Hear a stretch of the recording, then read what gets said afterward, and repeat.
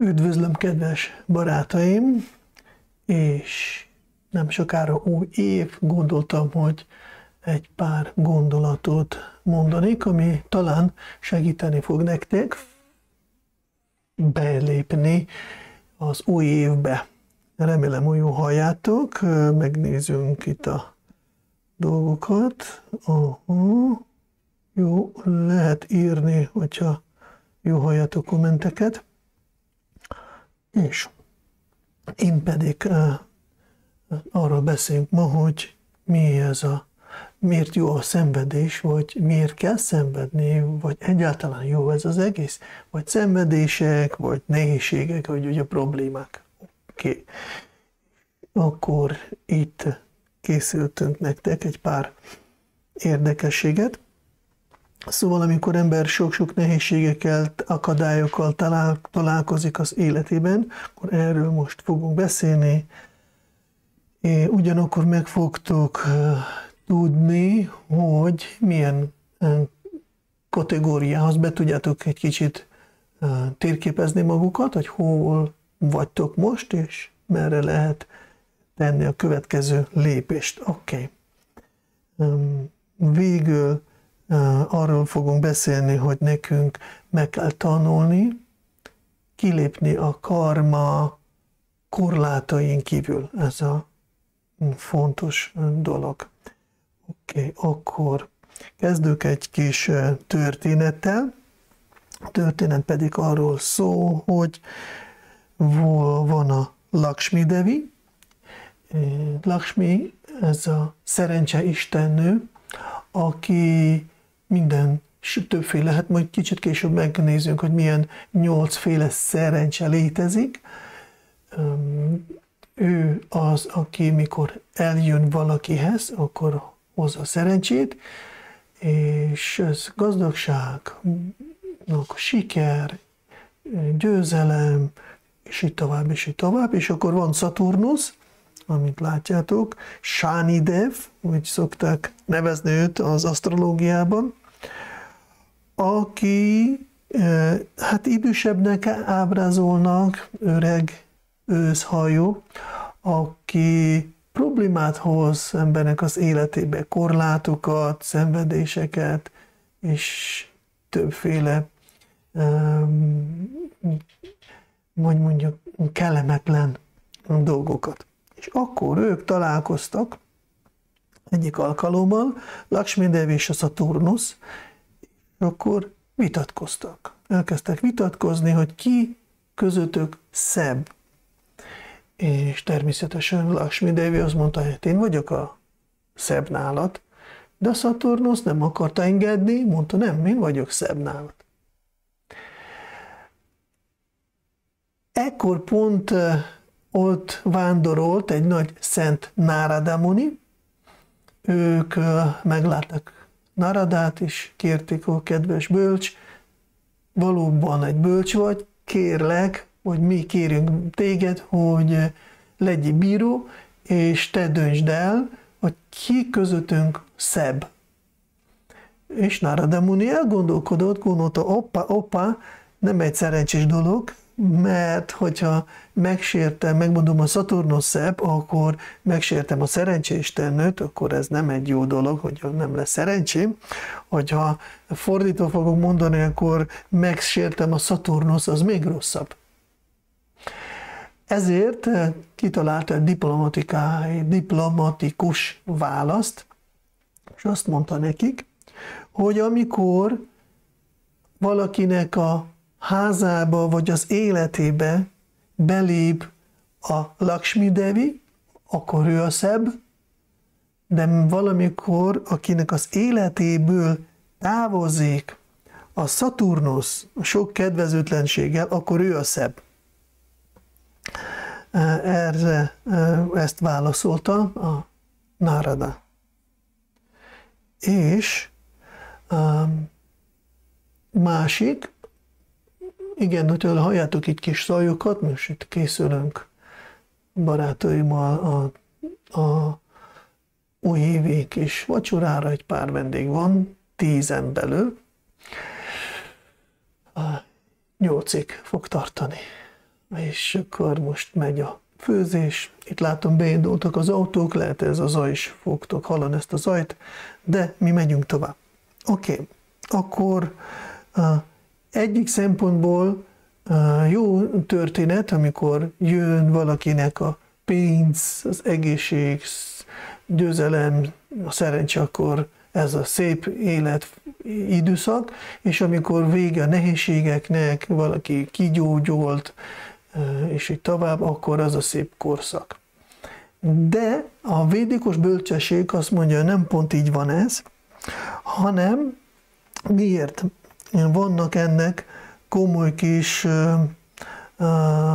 hogy mondjuk, alapja, de mielőtt megyünk ebbe, akkor még egy kicsit arról nézünk, igen, hogy van a nyolcféle lakshmi, és az ember, amikor gondolja, hogy igen, nekem ez a legszerencsésebb lenne, hogyha lenne pénzem, ugye ott van a Adi Lakshmi, akkor ez egy eredeti Lakshmi, a szerencse, ami csak eredetileg van egy szerencse, mindennek az alapja, akkor van Dana Lakshmi, ezek a pénz, gazdagság, akkor Dhyana Lakshmi, amikor, bocsánat, Dain, uh, Danya Lakshmi, ez azt jelenti, hogy ennivaló gabona, amikor mezőgazdaságilag minden virágzik, akkor van.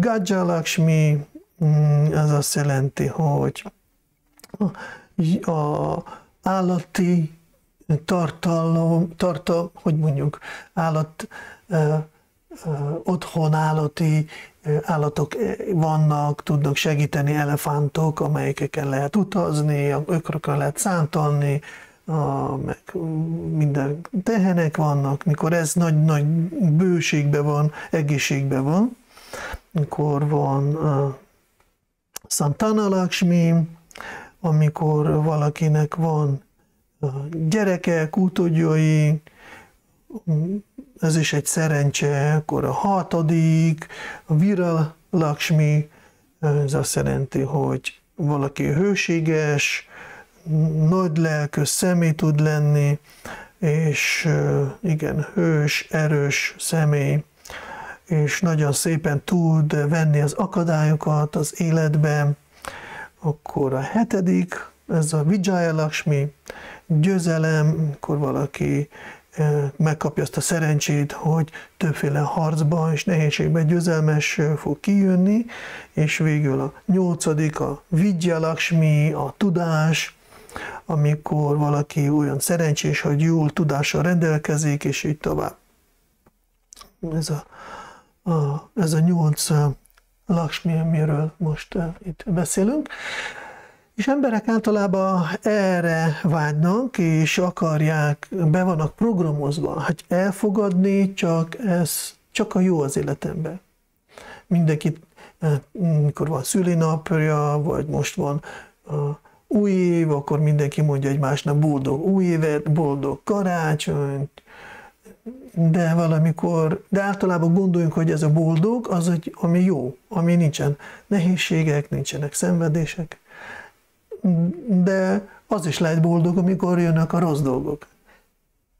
Szóval amikor mi mondjuk valakinek boldog új évet, a bölcsember, amikor mondja boldog új évet, akkor nem feltétlenül arra gondol, hogy neked minden fényes legyen az életbe, hanem bölcsé váljál, akkor boldog lesz az élet. És sokszor ez a, a nehézségek tudnak neked segíteni ebben.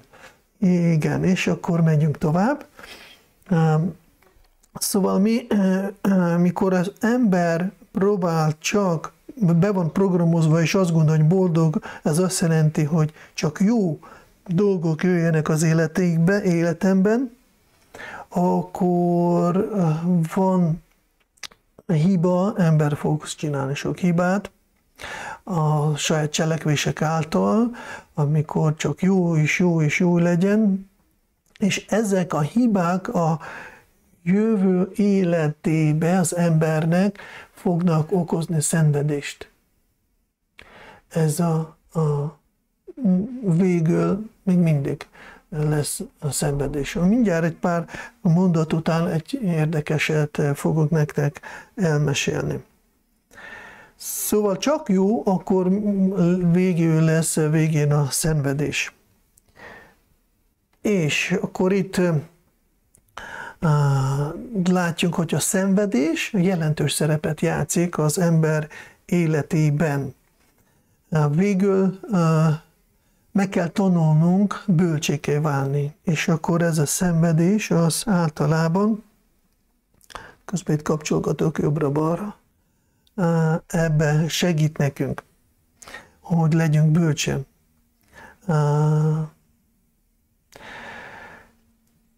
Persze szenvedések, nehézségek az életünkben, ez egy élet, ember életében a leg, legnehezebb tudománya, de ugyanakkor egyik legfontosabb tudománya. Mert csak akkor ember bölcsé fog válni, hogyha nehézségeken fog átmenni. És a bölcsesség, uh, ahhoz, hogy mint te, te bölcsé tanuljunk, bölcsé váljunk, akkor nekem meg kell tanulnunk egyaránt elfogadni a jót és a rosszat, vagy a kedvezőt és a kedvezőtlenséget, kedvezőtlent. Mert a mi életünkben a jó és a rossz, ez a mi életünknek a realitása, ez a mi valóságunk. Mert ki, ó, próbál, ki már tapasztalta köztöttek, írjátok a kommentekben, hogy ő meg tudta csinálni, sose legyen nehézsége, sose szenvedjen az életébe. Nem, ez egymást váltja valamikor. Ahogy szoktál, szokták válaszolni, amikor kérdezzen, na hogy vagy, és akkor mondja, szó-szó, egyszer fönt, egyszer lent. Igen, ez, erről van szó. Oké. Okay. Um, ok, és most akkor el, erről tovább folytatjunk beszélgetni. Természetesen ez minden a, az a jó és a rossz, az a csillog állásában minden tükröződik, erre van az asztrológia, a is, majd egyik videóban egy kicsit jobban megnézzünk, hogy milyen bolygókkal van jobban kapcsolatban, mi történik. Most még oda nem megyünk ebbe az irányba, hanem folytassunk a mi témánkat. Egyet, hogy a Szaturnuszról egy pár szó fogunk beszélni, hogy fő szenvedéseket a gyótis, vagy a, a, a asztrológia szerint a Szaturnusz, ő ilyen, ő nagyon lassú, lassítja mindent, akkor öreg, öregedést okoz, akkor, vagy öregedésnek a bolygója, a halálnak a bolygója, ez a bolygó, ami tanítja embert türelemre, megfontolásra, gondolkodásra, és ezért elsősorban meg kell értsünk egy nagyon-nagyon fontos dolgot, ez pedig az, hogy az életünk nem, szem, nem, a, nem a boldogságra van kitalálva, vagy teremtve. Az anyagi világban, ebbe a világba az életnek nem az élvezés az értelme. Na, sikerült kifejezni. Szóval nem az élvezés az értelme az emberi életben. Ezért általában mikor jön a szenvedés, amikor van egy eredeti tévedés. Ez a tévedés pont, amikor az ember azt gondolja, hogy itt szeretnék boldog lenni, és nem lehet, nem akarok lenni, nem akarok szenvedni ebbe a világban. És amikor ember éli a, a, csak a jót, és azt elvárja, hogy legyen neki csak a szerencse Isten az életébe, akkor annak az embernek az élete nagyon fancy lesz. Nem lesznek még kapcsolatai. Az ember nem türelmetlenek kezd válni, mert ő azt gondolja, hogy mindennek történik kell, ahogy ő most elvárja, mert mindig ő ezt elvárja, és akkor ember érzéktelen lesz a mások irányt, erőszakos lesz, kegyetlen lesz. Végül ezek a hibák, ami elején mondtam, ami szenvedéshez fognak minket vezetni. Így most nemrég 26-án, decemberben találkoztam egy kedves hölgyel, aki mesélte, hogy egy ilyen családra, kinek a hitelkártya, bankkártya korlátlan. El tudjátok képzelni? Hogy nincs korlát, mennyit lehet költeni és, valami, és akkor csak költenek, és próbálnak, hogy csak élvezni, csak jót, szóval korlátlan, mint egy varázslópálca, a hitelkártya, ez egy ilyen varázslópálca, minden sokféle vágy, nem az összes, de te lehet teljesíteni, és akkor ők mennek, költenek, vásárolnak, pazarolnak, valamikor csak valami, amit három milliós dolog, azt csak kidobják, mert már nem tetszik, valamiket megvásárolnak, megrendelnek több százezeres dolgukat, akkor nem is csomagolnak ki, mert ott vannak becsomagolva évekig. De ugyanakkor szóval látjunk, hogy a Lakshmi, mint a pénz, szerencséstenő, nagy-nagy bőségben megvan, de annyira fancy életet élnek, hogy azt próbálnak boldog lenni csak attól, hogy élveznek, de nagyon-nagyon nem boldogok, nagyon szenvednek, nagyon frusztráltak, és nagyon rossz a kapcsolatok a többiekkel, és így tovább. Szóval ez nem boldogít. Mert, ahogy mondtam, az embernek nem erre van az élete, hogy valaki, hogy boldogon legyen.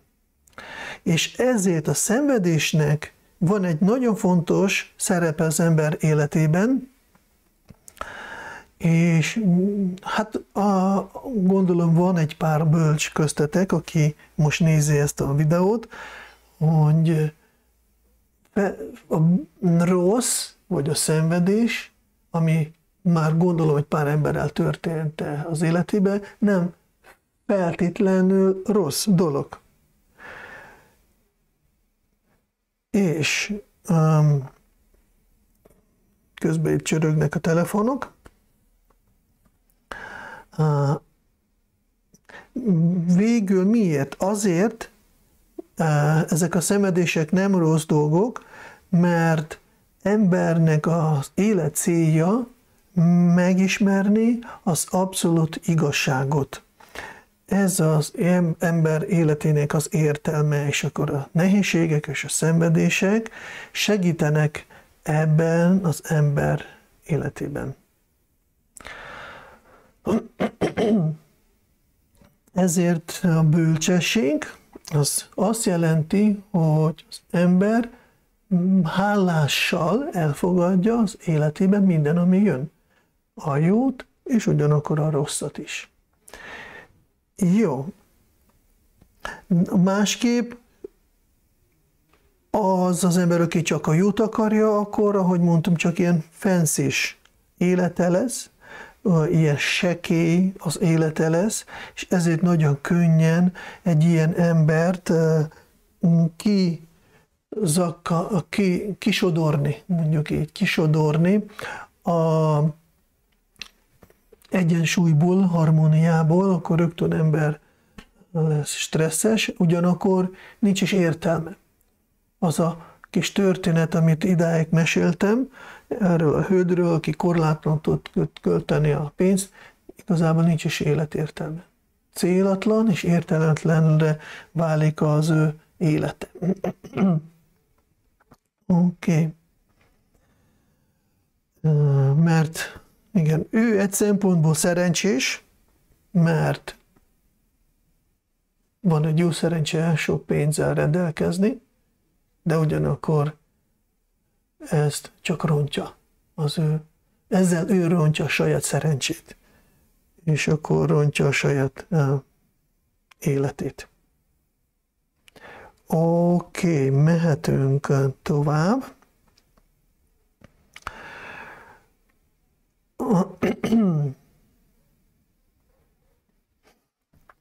Jó, akkor most egy kicsit arról beszéljünk, hogy, hogy mit jelent valóban, valóban megtanulni.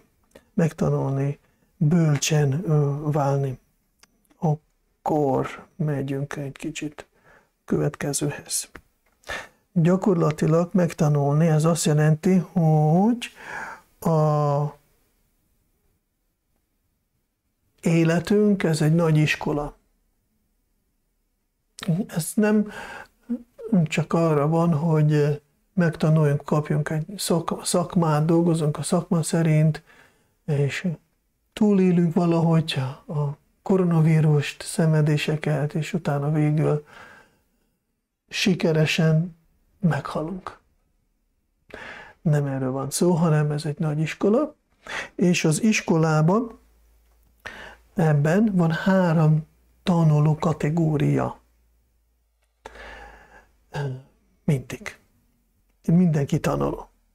Az első kategória, ez azok a személyek, akik nagyon, akiknek nem kell átélni a szenvedéseket, hanem ők látják másoknak, hallják másokról, másoknak a hibájáról, és akkor abból tanulnak, nem kell nekik belelépni a saját testükkel, saját bőrünkkel áttapasztalni a szenvedés, hanem ők csak hallják, látták és tanultak. Rögtön. Ezek ritka bölcs emberek a Földön, nagyon-nagyon kevés ilyen személy létezik. Akkor a második, vagy ez inkább harmadik kategória, amit először beszélünk, a harmadik kategória azok, akik sok-sok szenvedést, kipróbáltatást kaptak, de semmit nem tanultak az életből. Semmi, nem lettek a bölcsebbi, bölcsebb, hanem inkább ők lesznek agresszívabbak, negatívabbak, ateisták lesznek belőlük, és így tovább. Mind türelmetlenek válnak, mikor már vége az egésznek, mikor már vége ennek a koronavírusnak, mert most már nem bírom a dühömet kontrollálni, egyre, egyre dühösebb vagyok. Igen, vannak a, az a harmadik kategória tanuló, aki nem válik bölcsi, hanem sőt, inkább a keményebb emberre válik.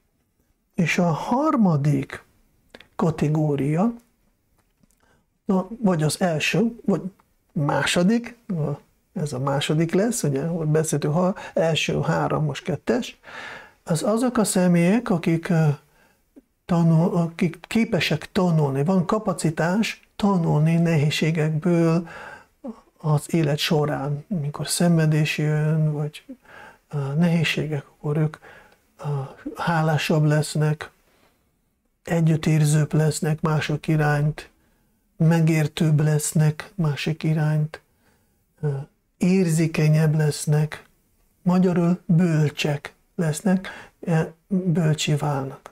Szóval a nehézség, a, és ebből is kevesebb lesz. A harmadik kategória, a, a, amikor ember csak megbukik, nem tanul sokat az életében, vagy semmit nem tanul, azokból sokkal több most is a Földön van és csak kis kategória a második kategóriában, akinek például a koronavírus alatt az élete megváltozott abba a irányba, hogy elkezdte tudatosan tanulni, hogy hogy is kell élni, hogy kell boldog lenni, mik az, mi az élet értelme, szóval elkezdte kutatni, és próbál megfontolni, hogy miért történik velem ez, miért történnek ezek a korlátozások, amit most vannak. Oké. Okay. Mm. Szóval a védikus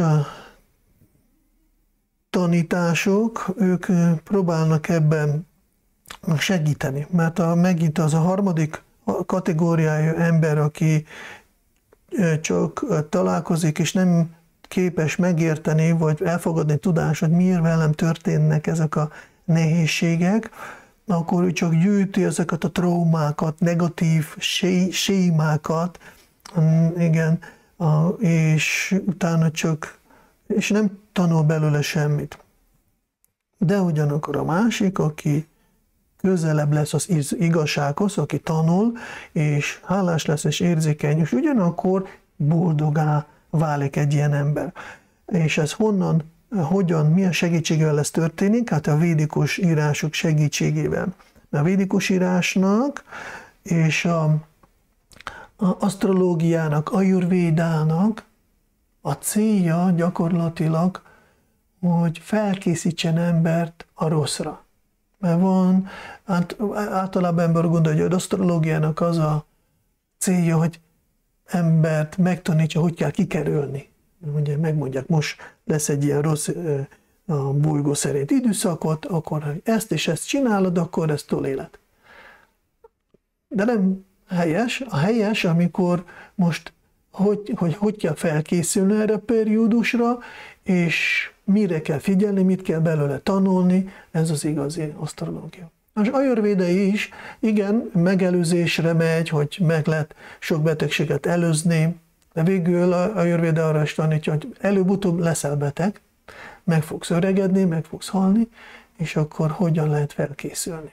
A ajurvéda még ebben segít. És minden más szentírás, amit mi olvasunk, tanulunk, hogyha mi megnézünk, akkor ebből szemszögből meg lehet, meg lehet nézni, hogy ők készítenek, hogy mikor jön a nehézség, mit kell csinálnod, hogy kell bölcsé válni, amikor gyakorlatba fogsz jönni ezzel a tudással. És akkor ember végül emlékszik erre tudásra, amit tanult, mert ezért nagyon fontos tanulni és megegyezni, mert mikor jön a gyakorlat, nehézségek, akkor az ember bölcsével fog válni. Mm. És végül az embernek fel kell kerekedni a szenvedések felől. Ez a fontos. Akkor mi a különbség kettő tanuló között? Az egyik, aki nem tanul az életéből semmi, hanem csak gyűjti, gyűjti a traumákat, és utána nagyon sérülékeny lesz, ideges lesz, gonosz lesz, agresszív lesz, kritizál mindenkit, irigy lesz, és a másik, aki nagyon kedves, figyelmes másokra, hálás mindenki iránt, bölcsember, érzékeny, önzetlen. Mert ezek az nehézségek erre tanítják. Mi a különbség? Miért?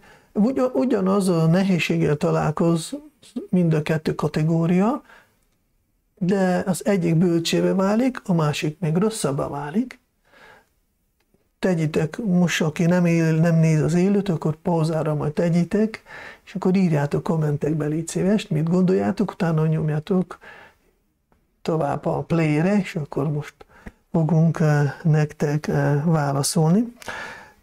A különbség kettő között abban van, hogy az egyik mechanikusan éli az életét, ő csak jön a korlát, amit most pont nagyon aktuális, és itt valaki gondolja, hú, ez meg csak rossz, miért kell korlátozni, ez tönkre teszi az életemet, én nem akarok ezt, csak felháborodik, és akkor buzdítja másokat, menjünk, ne engedelmeskedjünk, és csak forradalmat csinálni, vagy valahogy más. Szóval sok, nem csak ebben a szituációban, ahol most vagyunk, hanem sok minden más szituációban is ez történik. Miért? Mert nem fontolja meg. Nem tudatosan, ő csak reagálja, hogy a karma neki diktál. Van egy karma, ami az azt jelenti, karma, az be vagyok programozva, inger jön, és akkor én reagálok, és akkor ennyi.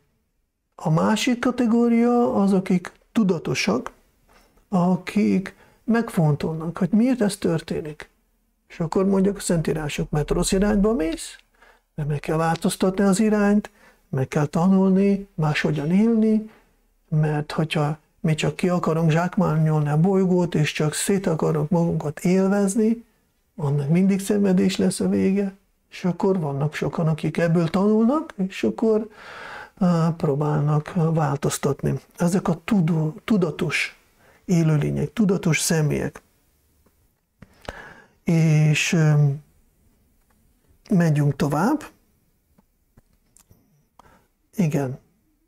Amikor olvasnak olyan személyek, akik tudatosok, a szentírásokat, a bölcsességkönyveket, akkor ők, fognak, ők lesznek az intelligensek. És ők képesek, csak a legintelligensebb emberek, olvasva ezeket a könyveket, képesek megváltoztatni önmagukat. Szóval nem olyan a könnyű. Könnyű csak felháborodni, és akkor mutatni, de hát ebből nem lesz boldogság. Oké, okay. Lépjünk tovább. Szóval um, azok a személyek, akik böl, bölcskönyveket tanulnak, és nagyon intelligens személyek, ők fognak tudni mindig, hogy mi a helyes, mit kell tenni megfelelő vagy kialakult helyzetben nem fognak szokások szerint reagálni a karma, sémák szerint, amikor mink, nekünk valaki nem udvariasan szól hozzánk, te mi És akkor rögtön gondolsz, ki, ki vagy, te ki vagy, hogy nekem mi beszélsz? Nem? Szoktátok? ez, a, ez a szokás szerint. Mi akarunk, akarunk mutatni, hogy te most nem látod, ki van előtted? Nem, a bölcsember nem a szokások szerint válaszol, vagy reagál, inkább tudatosan és megfontolva fog közelíteni ezt a, a kialakult nehézséget, a kialakult helyzetet. Oké. Okay. És akkor miben különbözik az ember az állattól? Az ember az állattól, mondjuk az ember rendelkezik tudással, ő tud, és az állat is tud. Az állatnak van tudása, ő tud. Csak az állatnak nincs tudatossága. Ő nem tud gondolni, nem tud kívülről magát megfontolni, vagy értékelni. Most ezzel, mit csinálok, az egy jó, vagy nem jó, vagy ez miért kell így csinálnom, hogy lehetne jobban, miért történt velem ez, ki, ki a hibás, vagy mit csináltam én, hogy ezt okoztam magamnak. Ez, ez nincsen állatban ez a kapacitás, de emberben van ez a kapacitás. És, és ez a különbség. Hogyha ember nem használja ezt a kapacitást, akkor nagy különbség nincsen az állattól. Oké, okay, és akkor ezért, amikor mi szentírásokat olvasunk, tanulunk, akkor azt adja nekünk azt a képességet átmenni a, tani, a tanulásokon, ami az élet, a leckéken, ami az élet nekünk adja. De hogy? Hogy mi próbáljuk tudatosan hozzáállni a nehézségekhez, nehézségekhez, a szentírásokat tanulmányozva, utána a szentírások prizma keresztül próbálunk értékelni kialakult helyzetet, mert ahogy látjátok itt a térképen, van koordinátok, szóval nem, a, nem mi legyünk a koordinát mérce, amihez mérni kell a helyzetet, hanem a szentírások adják új koordinátát, a új mércét, és ahhoz kell mérni a kialakult helyzetet, és az szerint egy bölcs ember tud találni megoldást, és akkor így ez a bölcs hozzáállás, és akkor így mélyebb, bölcsebb, sikeresebb és boldogabbá váli az ember. Szóval nem abban a, a koordinátban ember cselekszik, amit megszoktunk, hogyha mi megszoktunk, akkor tényleg nagyon nehéz ezt a korlátot, amit most van a országokban túlélni, hanem egyre ember idegesebb kezd lenni, és akkor egyre kevesebb érti, hogy mi történik velem. Nem.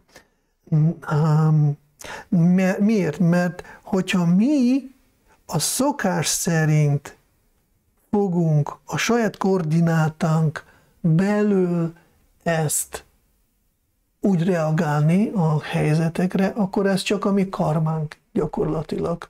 Mert, ahogy mondtam, ez a mi programunk. Én be vagyok programozva a bizonyos helyzetekre, bizonyos képen reagálni. Általában a többség hasonlóképpen be van programozva, ezért kiszámíthatóak.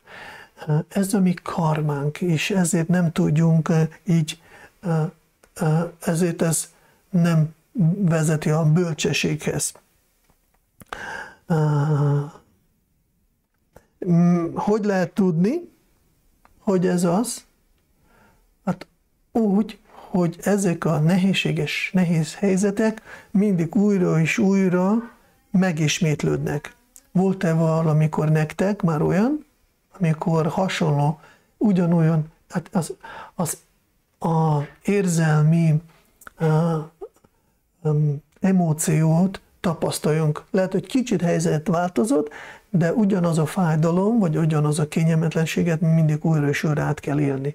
Igen, hogyha mi karma szerint mindig ugyanazt a hibát követjünk el, ugyanúgy reagáljunk, akkor megint ugyanott fogunk kerülni. Ezért az ember így megbukik, mint a gyerek iskolába, valamikor marad. Még egyszerre arra az osztály, mondjuk a harmadik osztályban megbukott, akkor következő évben ugyanott kezdi, és harmadik év is így tovább, és ezért a, e, itt valaki maradt ebbe a világban többször, mert megbukott életről életre.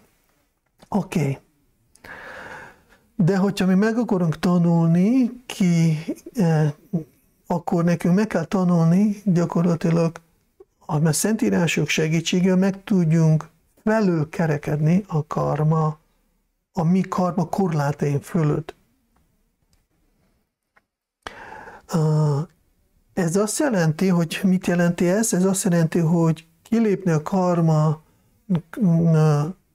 korlátaink kívül, hogy megtanulni, értékelni kialakult helyzetet a magasabb rendű igazságok szerint, koordináta szerint ez a lényeg. Oké, okay, és akkor most még egy legfontosabb dolog, amit szerettem volna mondani nektek, hogy igazából ez azt jelenti, hogy túl felül kell írni a mi karmát, vagy hogy lehet megközelíteni, ugye? Hogy lehet valaki tudatos, tudatos lenni. Ez azt jelenti, hogy ember újra kell írjon ezeket a sémákat, azokat a szokásokat, a programokat, ami megtanultunk, és ez megint úgy lehet, ahogy, hogyha van egy plusz tudás. Emlékszem, mikor 20 mm, éves voltam, és jöttek a nehézségek, és akkor gondoltam, miért pont velem ez történik? Szoktatok itt gondolni, miért pont velem? És utána kaptam egy új koordinátát, hogy ezért és ezért, ezért, ó, de akkor mit kell csinálni? És, de hogyha így és így csinálsz, megváltozik az egész életed. Szóval ez a lényeg. Elő kell írni a karmát.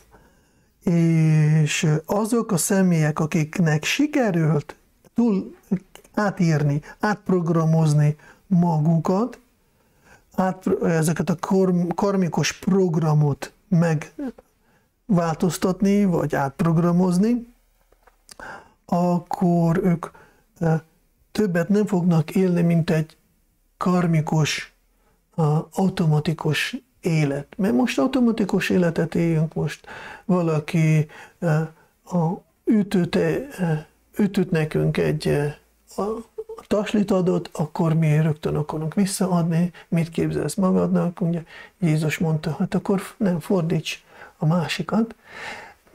Persze ez igaz, de vannak apró betűk, hogy melyik helyzetben kell fordítani a másik arcodat, üssenek valamelyikba, mikor nem. Ez egy másik téma, de itt ez is, erről is van szó.